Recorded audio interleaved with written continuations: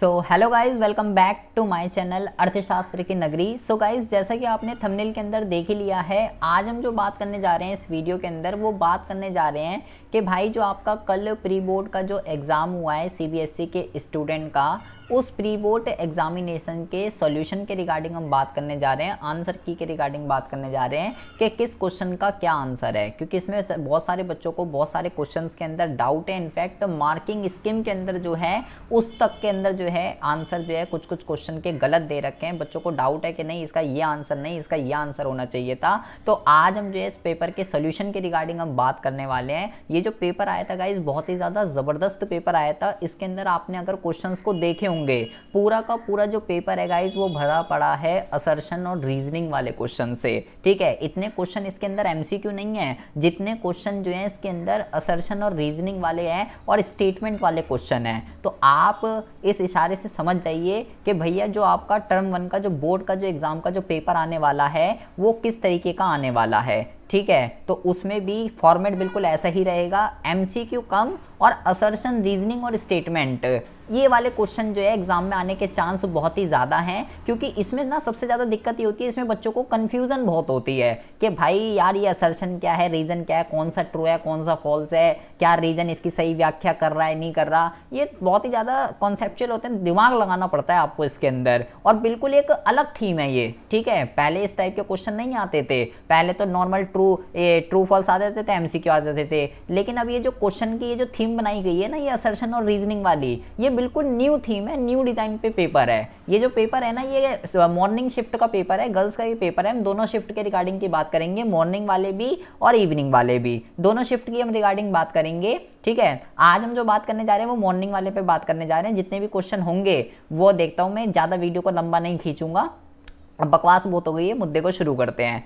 तो इसके अंदर जैसे आप जानते हैं, साठ क्वेश्चन है, पचास करने हैं, तीन सेक्शन के अंदर है ए बी सी ए में इतने बी में इतने सी में इतने और इतने इतने क्वेश्चन को करना है। हम तो सारे साठ के साठ क्वेश्चन के रिगार्डिंग बात करेंगे। और गाइज़ आप इन क्वेश्चनों को बहुत ही अच्छे से करके जाइएगा।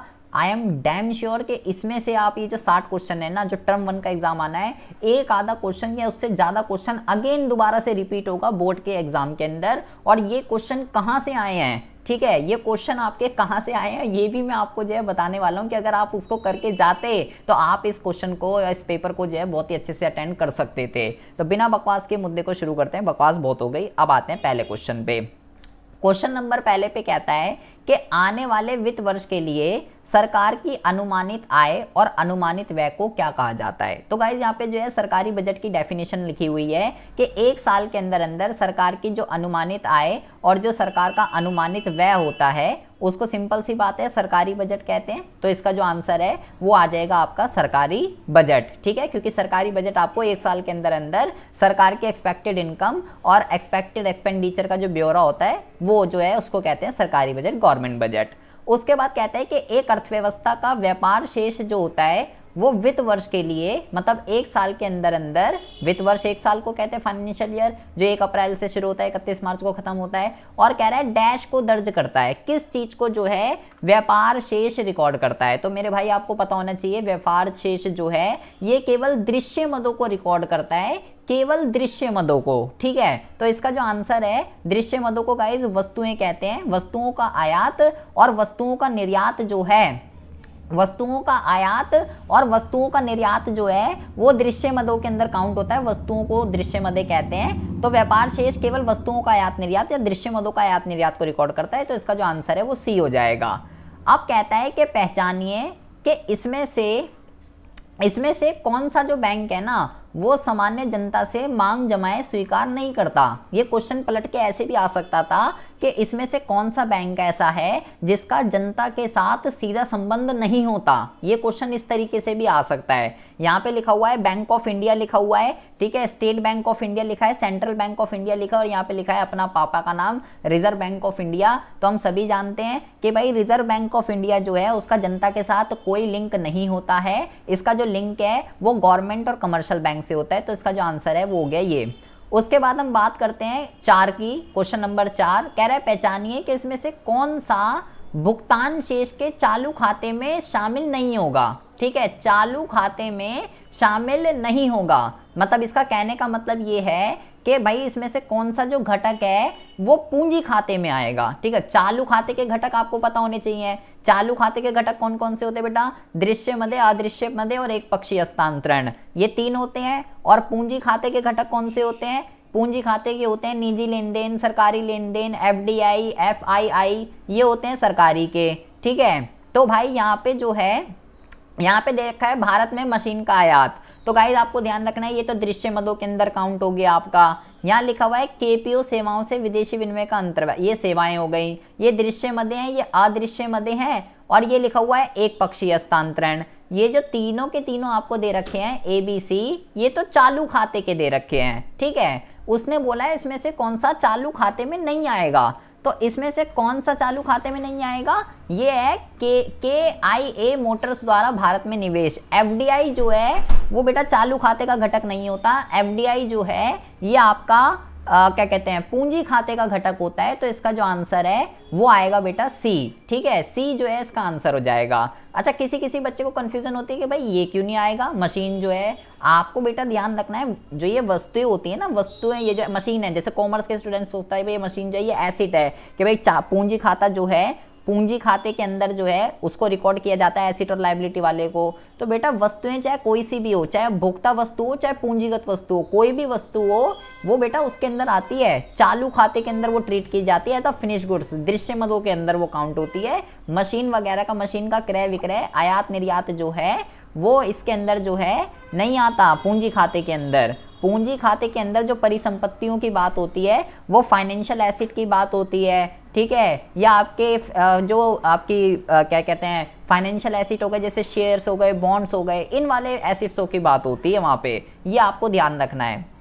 इस वजह से ए नहीं आएगा इसका आंसर इसका जो आंसर है वो आएगा सी उसके बाद हम बात करते हैं क्वेश्चन नंबर पाँच पे। अब देखिए क्वेश्चन नंबर पाँच में कहता है कि निम्न कथनों को ध्यान से पढ़िए तथा निम्न दिए गए विकल्पों में से सही विकल्प को चुनिए। दो स्टेटमेंट आपको दे रखी है। पहले में लिख रखा है कि जीएसटी 2016 को जुलाई 2018 में लागू किया गया। तो बेटा, यहाँ पे आप अगर आप देखेंगे कि जो आपका जो जीएसटी है जीएसटी 2018 में लागू ही नहीं हुआ है। जीएसटी के तो लागू होने की डेट जो है, वो कुछ और है। तो कथन जो स्टेटमेंट वन है, वो गलत दे रखी है आपको।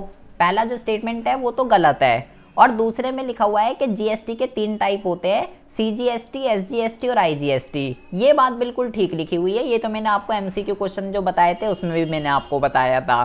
तो यहाँ पे जो स्टेटमेंट वन है, वो तो वो तो गलत है। स्टेटमेंट टू सही है। इसका जो आंसर है बेटा, वो आपका डी आंसर है, ठीक है? कि कथन टू जो है, वो सत्य है और कथन वन जो है, वो असत्य है। जिस जिस पे मैं लगा रहा हूँ, उसको उसको देखते रहेंगे, बाकी और किसी का आंसर नहीं देखेंगे। उसके बाद कहता है कि कुमारी जो है ना, कुमारी गुंजन अपने साथियों को बता रही है कि कमर्शियल बैंक असीमित मात्रा में साख मुद्रा का सर्जन नहीं कर सकते, क्योंकि उनको अपनी जमाओं का कुछ भाग केंद्रीय बैंक को, केंद्रीय बैंक के पास जमा कराना पड़ता है। तो क्वेश्चन में ये पूछा गया है कि यहाँ पे बताइए कि ये जो है किस चीज़ की बात कर रहे हैं? उस चीज़ को क्या कहते हैं, जब कमर्शियल बैंकों को अपनी कुल जमा का एक निश्चित अनुपात आरबीआई के पास जमा कराना पड़ता है, उसको क्या कहते हैं? तो उसका जो आंसर है, वो है सीआरआर नगद आरक्षित अनुपात उस चीज़ को कहते हैं, जो कि सभी कमर्शियल बैंकों को अपनी कुल जमा का एक निश्चित अनुपात आरबीआई के पास जमा कराना होता है। तो यहाँ पे जो गुंजन बात कर रही है, वो बात कर रही है सीआरआर की। इसी के बेस पे डिसाइड होता है कि कितना लोन क्रिएट होगा और कितना नहीं होगा। ठीक है जी? उसके बाद हम बात करते हैं क्वेश्चन नंबर सात की। क्वेश्चन नंबर सात में कहता है इसमें बच्चों को डाउट है मार्किंग स्कीम में भी इसमें जो है आ, क्या कहता है देखिए क्वेश्चन में लिखा हुआ है क्वेश्चन में लिखा हुआ है कि एक शिक्षक एक शिक्षक कक्षा में अपने शिक्षार्थियों से व्याख्या करता है कि केंद्रीय बैंक की विदेशी विनिमय दर के निर्धारण में कोई भूमिका नहीं होती। केंद्रीय बैंक की विदेशी विनिमय दर के निर्धारण में कोई भूमिका नहीं होती है। वो कौन सी विनिमय दर है जहाँ पे केंद्रीय बैंक की कोई भूमिका नहीं होती? क्योंकि इसका निर्धारण विदेशी विनिमय की मांग और पूर्ति के द्वारा किया जाता है। तो तीन तरीके की विनिमय दर होती है बेटा। एक होती है फिक्स, एक होती है फ्लेक्सिबल और एक होती है मैनेज फ्लोटिंग। ठीक है? स्थिर विनिमय दर, लचीली विनिमय दर और प्रबंधित तरणशीलता। स्थिर में कौन करता है? सरकार। लचीली में कौन करती है? मांग और पूर्ति की शक्तियाँ। और मैनेज फ्लोटिंग प्रबंधित तरणशीलता में दोनों का संयोग होता है, ठीक है आरबीआई बीच में इंटरफेयर करता है। तो यहाँ पे कह रहा है, वो कौन सी विनिमय दर है जिसमें मांग और पूर्ति की शक्तियाँ करती है? आरबीआई का कोई रोल नहीं होता। तो इसका जो आंसर है बेटा, वो है, जो लो, जो लचीली विनिमय दर जो होती है ना, लचीली विनिमय दर जिसको नमे विनिमय दर भी कहते हैं तो बेटा उसी का ही नाम तरणशील विनिमय दर भी है। उसको फ्लोटिंग फ्लोटिंग एक्सचेंज रेट भी कहते हैं, ठीक है? तो ये अब यहाँ पे उसने कंफ्यूज करने के लिए क्या करा? बच्चे इसको सोचने लग गए कि ये प्रबंधित तरणशीलता है।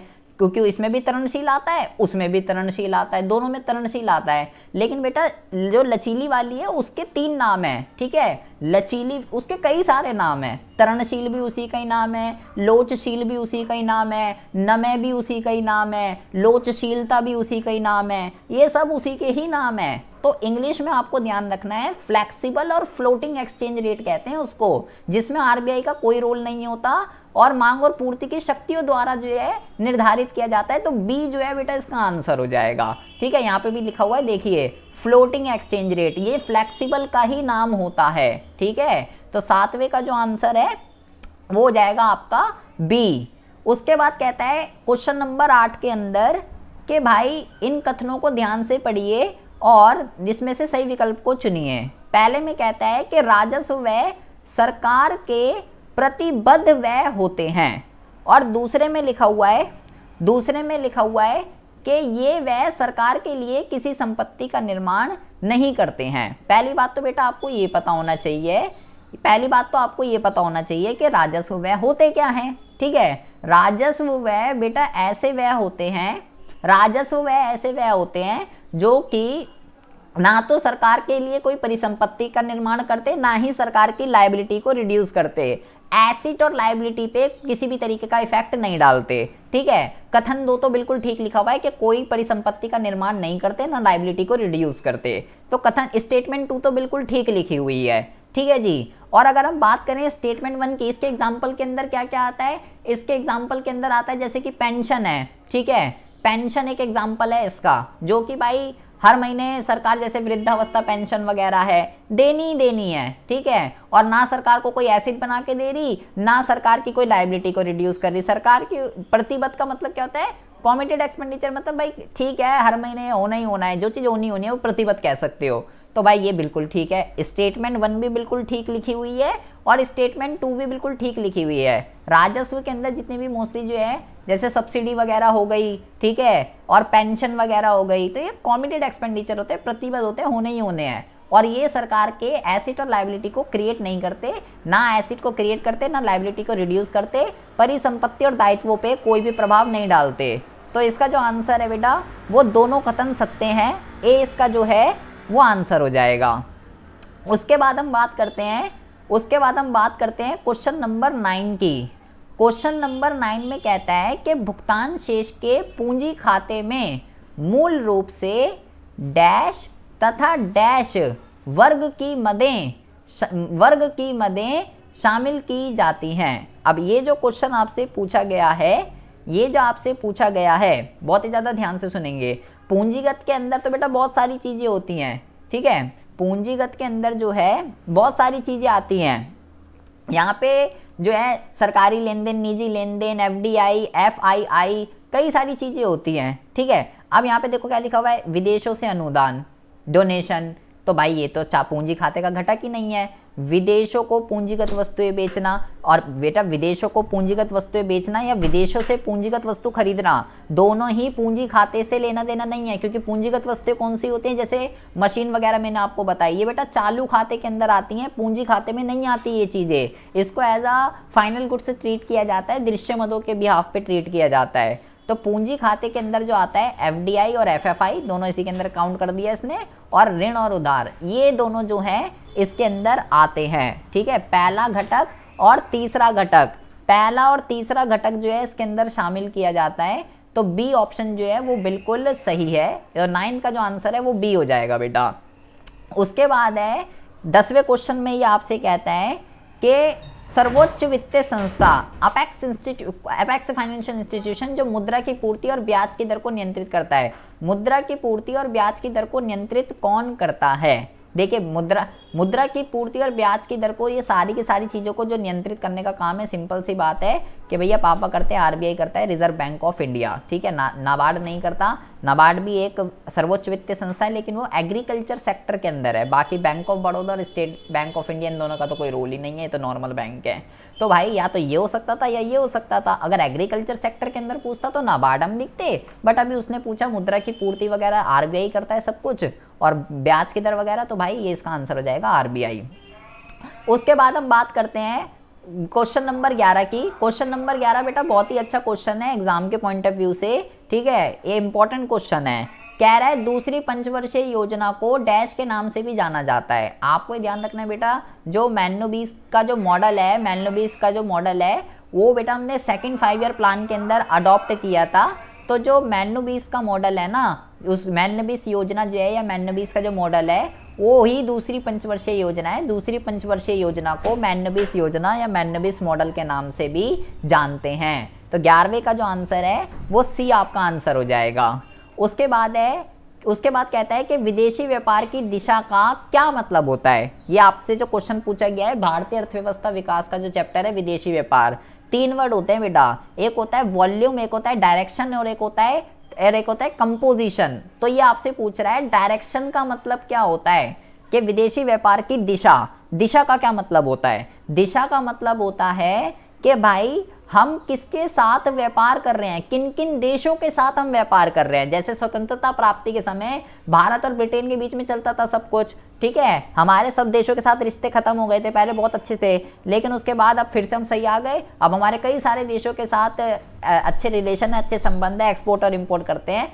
तो दिशा का मतलब होता है किसके साथ कर रहे हैं? वॉल्यूम का मतलब होता है कितना कर रहे हैं और रचना का मतलब होता है कि किन किन चीज़ों का कर रहे हैं। जैसे इसने दिशा पूछा है ना, ऐसे वॉल्यूम भी पूछ सकता है, कंपोजिशन भी पूछ सकता है। यहाँ पे अभी डायरेक्शन पूछ लिया गया। तो ऐसे ही बेटा वॉल्यूम और कंपोजिशन भी पता होना चाहिए आपको, तीनों वर्ड का मीनिंग क्या होता है। इंपॉर्टेंट क्वेश्चन है एग्ज़ाम के पॉइंट ऑफ़ व्यू से। जैसे अभी डायरेक्शन आया है तो कंपोजिशन और वॉल्यूम भी आपसे पूछा जा सकता है। उसके बाद कहता है कि डैश जो है ना खाद फ़सलों से नकदी फ़सल की ओर परिवर्तन होता है। तो बेटा उसको कृषि का व्यवसायीकरण कहते हैं, जिसमें हम जो है फ़ूड आइटम को छोड़कर कैश क्रॉप्स के अंदर जो है डील करते हैं, उसको कमर्शलाइजेशन ऑफ़ एग्रीकल्चर कहते हैं।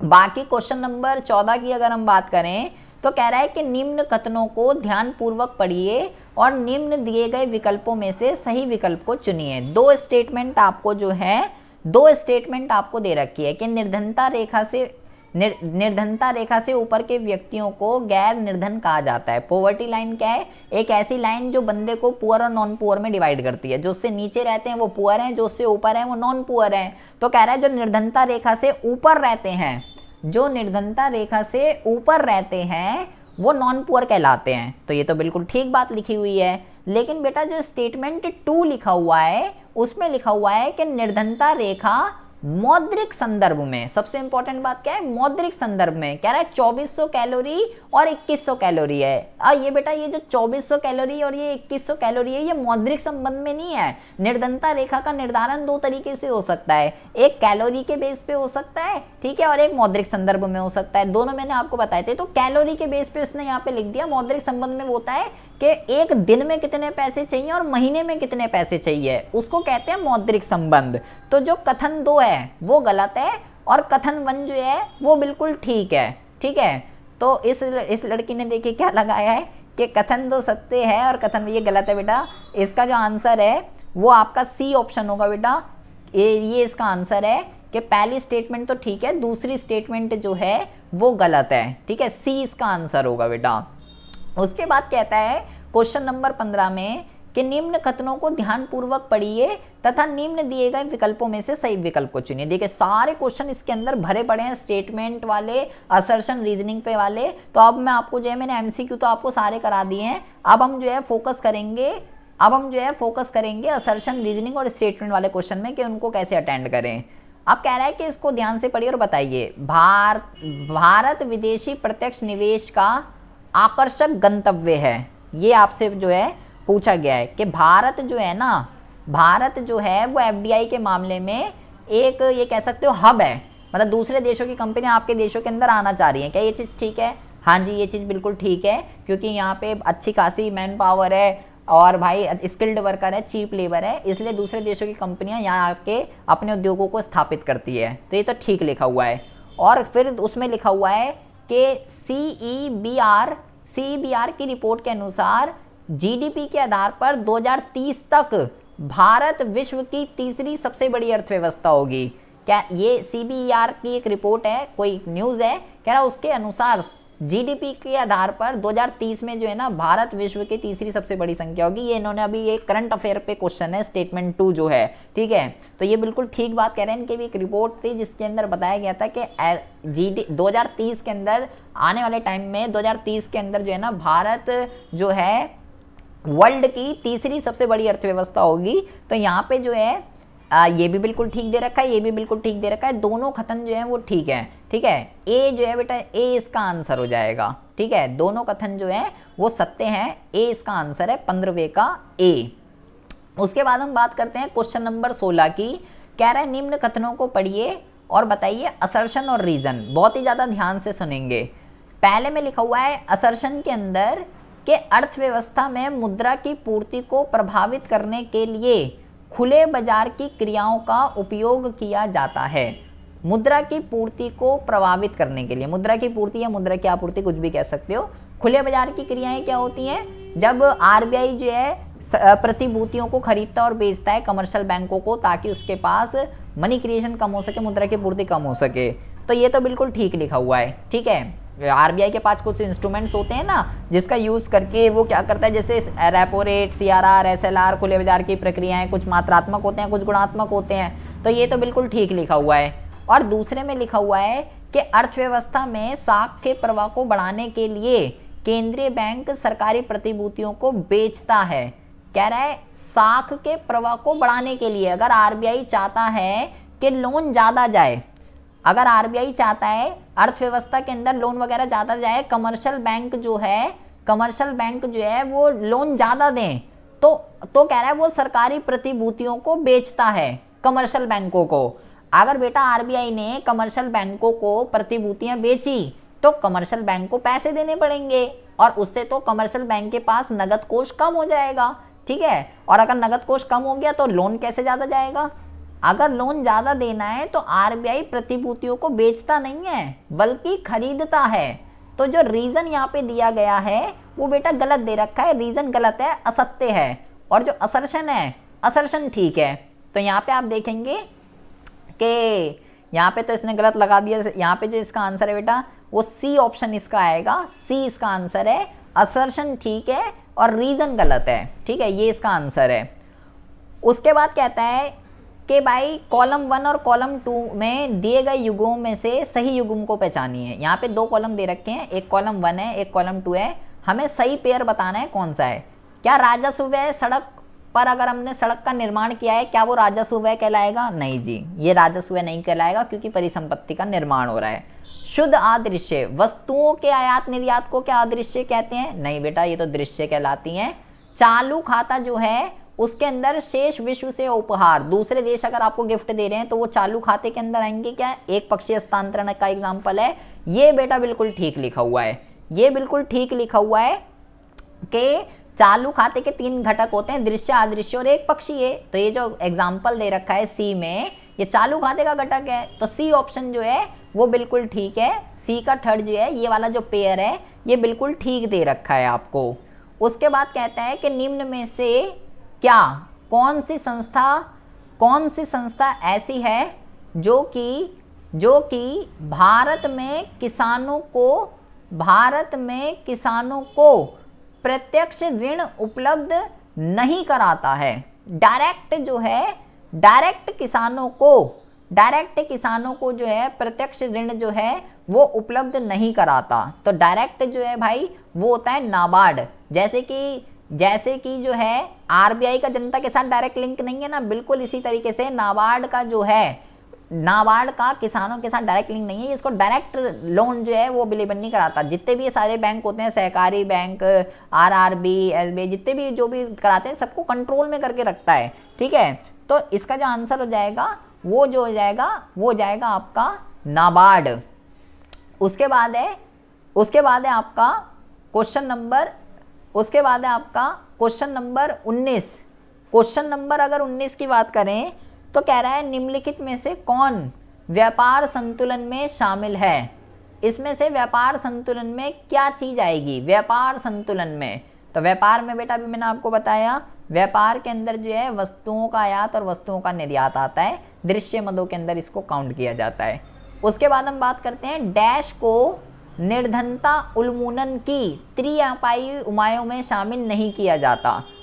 अब बेटा ये क्वेश्चन देखो, जब मैं आपको पॉवर्टी के क्वेश्चन बता रहा था, उसके अंदर मैंने क्वेश्चन इंक्लूड कर रखा है। निर्धनता को दूर करने के लिए सरकार त्रिआयामी प्रहार को अपनाती है।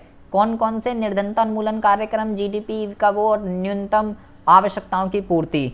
तो यहाँ पे जो है, यहाँ पे जो है, देखो, रोज़गार सर्जन योजनाएँ प्लान भी बनाती है, ठीक है? एम्प्लॉयमेंट जनरेशन प्रोग्राम भी बनाती है, ये भी और ये भी। इसका जो आंसर है, जनसंख्या का नियंत्रण। जनसंख्या का नियंत्रण जो है इसका आंसर होगा क्योंकि त्रिआयामी प्रहार में ये भी है ये भी है और ये भी है। ये तीनों जो है त्रिआयामी प्रहार के अंदर आता है। उसके बाद हम बात करते हैं क्वेश्चन नंबर 21 के रिगार्डिंग ये भी बेटा एक बहुत अच्छा क्वेश्चन है एग्ज़ाम के पॉइंट ऑफ़ व्यू से। कह रहा है अर्थव्यवस्था के अंदर कुमारी जो है वो केवल एक बन एक ही है पूरी अर्थव्यवस्था के, के अंदर केवल यही एक मानव है। ना तो कोई दूसरा कोई बंदा है, कोई क्रेता नहीं है, कोई विक्रेता नहीं है, कोई भी नहीं है।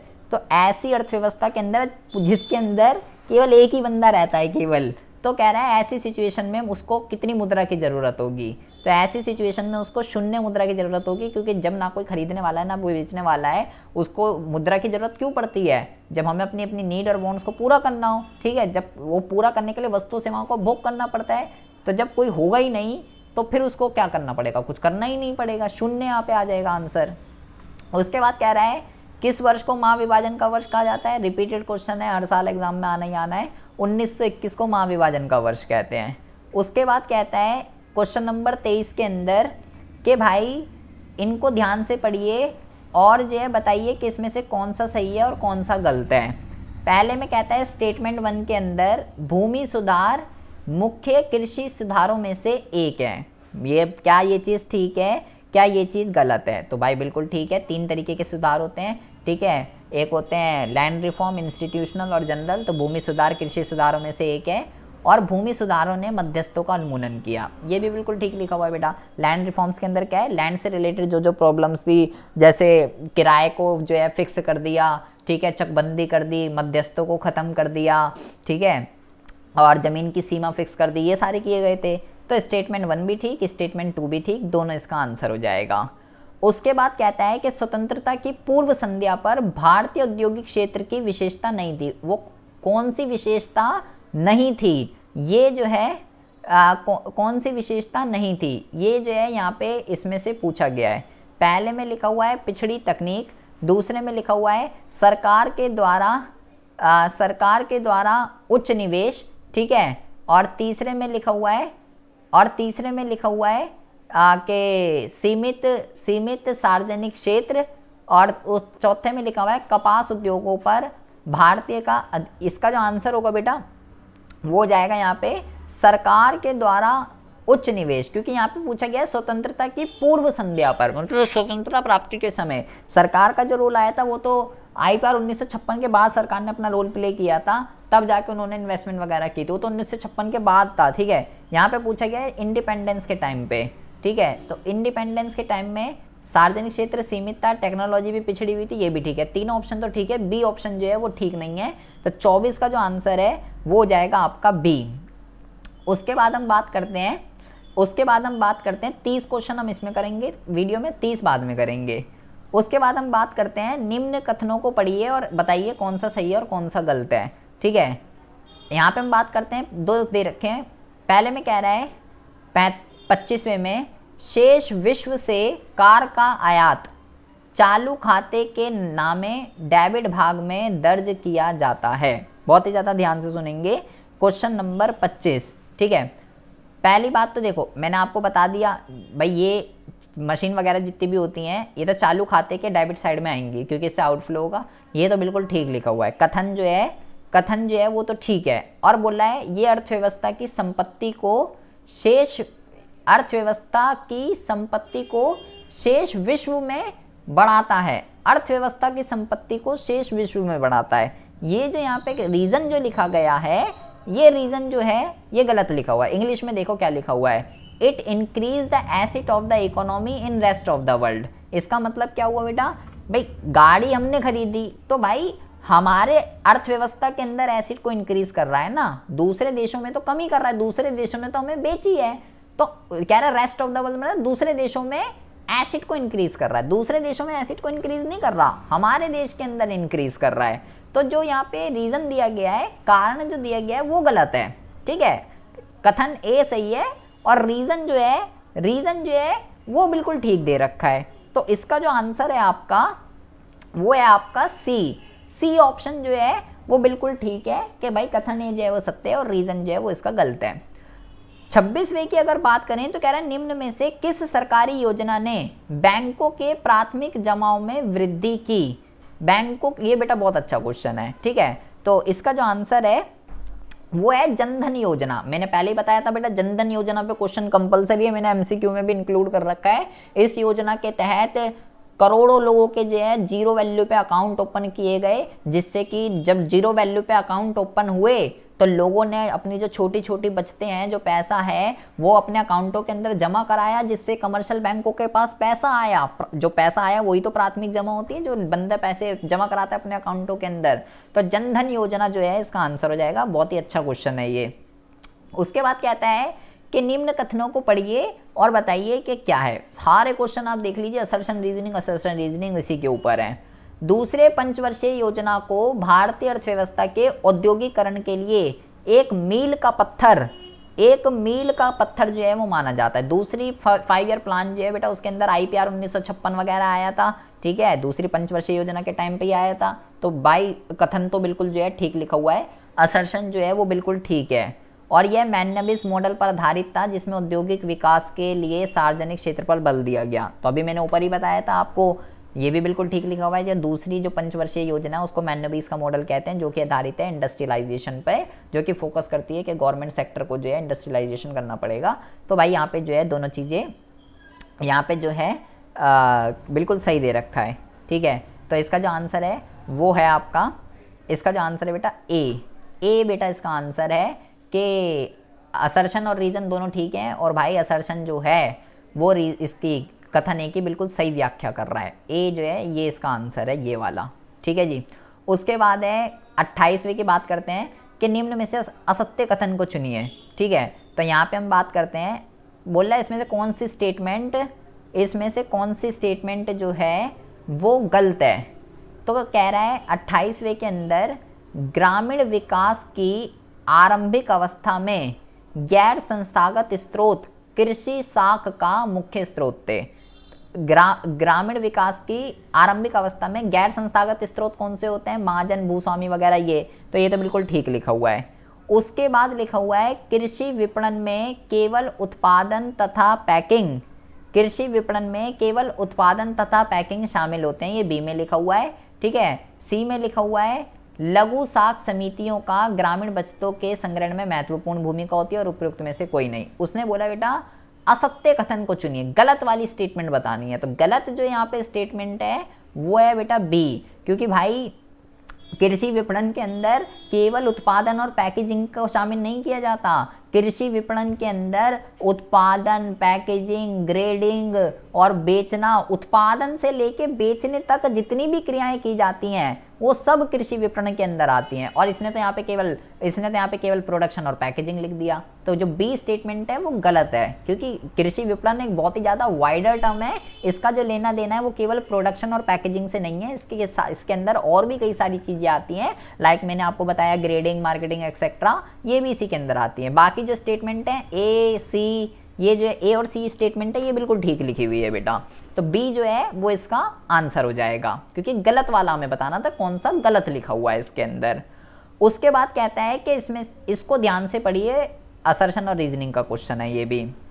इसमें ये कहता है कि कहता है कि मानव पूंजी निर्माण जो है, मानव में अधिक कुशलता और उत्पादक के समावेश की प्रक्रिया है। तो अभी मैंने आपको जब ये चैप्टर पढ़ाया था, इसके क्वेश्चन से बताए थे कि भाई बिल्कुल ठीक कह रहा है कि ह्यूमन कैपिटल फॉर्मेशन जो है ह्यूमन के अंदर एफिशिएंसी और प्रोडक्टिविटी को एक इंक्रीज करने की प्रक्रिया, समावेश करने की प्रक्रिया है। तो असर्शन तो जो है बेटा वो बिल्कुल ठीक लिखी हुई है। मानव पूंजी भौतिक पूंजी को बेहतर प्रयोग करने के योग्य बनाती है। यहाँ पे जो रीज़न दे रखा है बेटा रीज़न जो है ना रीज़न भी बिल्कुल ठीक दे रखा है, क्योंकि भौतिक पूंजी को कौन बनाता है? ये इसकी इंपॉर्टेंस लिखी हुई अगर आपने ये चैप्टर पढ़ा है, मानव पूंजी वाला भौतिक पूंजी, जब मानव पूंजी जितनी ज़्यादा अच्छी होगी तो उसी तरीके से भौतिक पूंजी का यूटिलाइजेशन हो पाएगा, ठीक है ना? लेकिन यहाँ पे जो है ना, यहाँ पे आपको ज़रा ध्यान से समझना है, लिखा तो दोनों ठीक है असर्शन भी ठीक लिखा हुआ है और रीज़न भी ठीक लिखा हुआ है। लेकिन यहाँ पे आपको ये ध्यान रखना है कि भाई ये जो असर, ये जो रीज़न है रीज़न का असर्शन के साथ कोई लिंक नहीं बन रहा है। ऊपर में कह रहा था कि मानव पूंजी एफिशिएंसी प्रोडक्टिविटी में इंक्रीज समावेश करता है। वो तो ठीक है, बिल्कुल ठीक लिखा हुआ है। लेकिन लेकिन यहाँ पे लिखा हुआ है कि मानव पूंजी भौतिक पूंजी का बेहतर ये इसकी इंपॉर्टेंस दे रखी है, ठीक है? इसका, इसके साथ जो है कोई लिंक नहीं है। इसका जो आंसर है, वो बी ऑप्शन हो जाएगा कि दोनों सही तो हैं, लेकिन रीज़न जो है, वो कथन एक ही सही व्याख्या जो है वो नहीं कर रहा। तो इसका जो आंसर है, वो बी ऑप्शन है। उसके बाद हम बात करते हैं तीसवे की। कह रहा है, भाई, सही युग्म बताइए। यहाँ पे कॉलम वन है कॉलम टू है। त्रिआयामी दृष्टिकोण निर्धनता का वर्गीकरण है। ये तो गलत है भाई। त्रिआयामी दृष्टिकोण निर्धनता का वर्गीकरण थोड़ी है। मनरेगा जो है, मनरेगा जो है, वो ग्रामीण कुशल श्रमिकों को रोज़गार का निश्चितता देता है। सैन सूचक रोज़गार का सूचक है। यह व्यक्ति गणना अनुपात निर्धनों के निर्धनों की गणना के लिए है। कह रहा है, सही युग्म को पहचानिए। हेड काउंट रेशो जो है हेड काउंट रेशो जो है, वो क्या बताता है? देखो हेड काउंट रेशो जो है, आपको ये बताता है पोवर्टी लाइन से नीचे रहने वाले लोगों की संख्या कि कितनी है, निर्धनों की गणना के लिए। सैन सूचक जो है, वो भी पोवर्टी के लिए होता है, रोज़गार के लिए नहीं होता, और मनरेगा सौ दिन का गारंटी रोज़गार देती है, ठीक है? सौ दिन का देती है। लेकिन यहाँ पे लिखा हुआ है, सौ दिन वगैरह नहीं लिखा हुआ, रोज़गार की निश्चितता लिखा हुआ है केवल। ठीक है? यहाँ पे सौ दिन नहीं लिखा हुआ, इसलिए हो सकता था ये, लेकिन अगर सौ दिन आता, मैं तो ये तो तभी इसका पूरा साल का बन गया। गारंटी है, लेकिन सौ दिन तक के लिए। इसलिए वैसे बी और डी दोनों ठीक हैं, लेकिन बी में दिक्कत क्या है, सौ दिन नहीं लिखा हुआ। अब निश्चितता तो मतलब पूरे टाइम पीरियड के लिए भी हो सकता है वो तो। तो डी जो ऑप्शन है, वो बिल्कुल ठीक दे रखा है। कि हेड काउंट रेशो जो है वो निर्धनों की गणना करता है। पॉवर्टी लाइन से कितने लोग नीचे रह रहे हैं। ठीक है जी? तो तीस क्वेश्चन हमने इसमें कर लिए हैं। बाकी के जो तीस क्वेश्चन हैं, वो हम नेक्स्ट वीडियो में कवर कर लेंगे। आप मुझे बताइएगा कमेंट बॉक्स में कमेंट करके कि आपके इन तीस क्वेश्चन में से जो है तो इस तीसरे का जो आंसर है बेटा डी इसका आंसर है, ठीक है? आप मुझे कमेंट बॉक्स में कमेंट करके ज़रूर बताइएगा कि आपके इस तीस में से कितने क्वेश्चन सही हैं और कितने क्वेश्चन गलत हैं, ठीक है? किसका क्या आंसर हो सकता था वो सब मैंने आपको बता दिया है कि क्यों किसका क्या आंसर है, ठीक है जी? मिलते हैं आपसे नेक्स्ट वीडियो में ऐसे इंटरेस्टिंग टॉपिक के साथ, तब तक के लिए have a good day bye bye take care